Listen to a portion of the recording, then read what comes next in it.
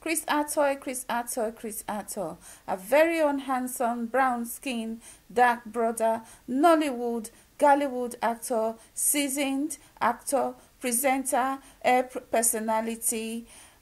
Chris Attoh has lost his second wife, his American love, Bettie Jennifer. They, go, they both got married last year in October of 2018 in Accra, Ghana. He was previously married to his fellow actor Damilola Adegbite. They share a son together. They got married in 2015 and divorced in 2018. He got married to Bettie less than a year after his divorce in Accra, Ghana, in a beautiful romantic ceremony in October of 2018. Betty was found dead February 5th of May in 2019 as she was leaving her office walking towards her car. She was gunned down by a gunman who sprayed several bullets after she saw him and ran away from him. A, a, bullet he shot hit her on the head. By the time the cops got there,